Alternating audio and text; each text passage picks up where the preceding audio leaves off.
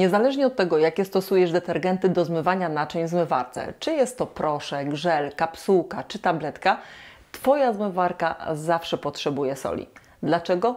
Dlatego, że sól sypana do pojemnika w dnie zmywarki służy do regeneracji systemu zmiękczającego wodę. A jak zapewne wiesz, zmywarka, żeby dobrze zmywać naczynia, potrzebuje miękkiej wody.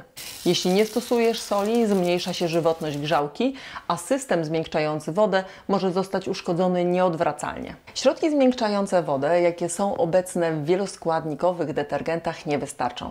Zresztą często w ogóle ich tam nie ma. Dlatego stosuj zawsze sól aby system zmiękczający wodę pozostał sprawny. Soli nie musisz stosować tylko wtedy, jeżeli masz centralny zmiękczacz wody, bądź jeżeli woda w Twoim regionie ma twardość poniżej 4 stopni DH. Jeśli nie jesteście pewni, jaką macie twardość wody, użyjcie testera paskowego, który jest tani i łatwy w użyciu.